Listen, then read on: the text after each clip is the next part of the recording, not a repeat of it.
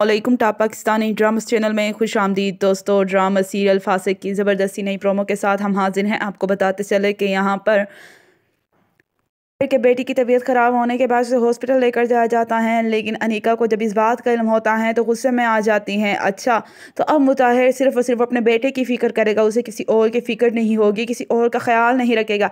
यानी कि अब वो मुझ पर तवज्जो नहीं देगा इस बात पर तो उसे काफ़ी ज़्यादा गुस्सा आ जाता है, चीज़ों की तोड़ फोड़ शुरू कर देती हैं। और इस तरह बिहेव करती हैं कि जैसे वो उसकी पहली बीवी हो और फातमा बाद में आई हैं। लेकिन दर हकीकत अनिका ने जो बोया है, अब उसे वहीं काटना पड़ेगा।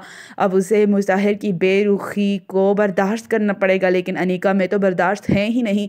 फिर वो कैसे बर्दाश्त करेगी? ये सब कमेंट में अपनी कीमती राय ज़रूर दीजिएगा। लाइक करके ज़रूर बताइएगा कि अब अनिका मुताहिर और फातमा को अलग करने के लिए क्या कदम उठाएगी? क्या वो उनके बच्चे को नुकसान पहुँचाएगी?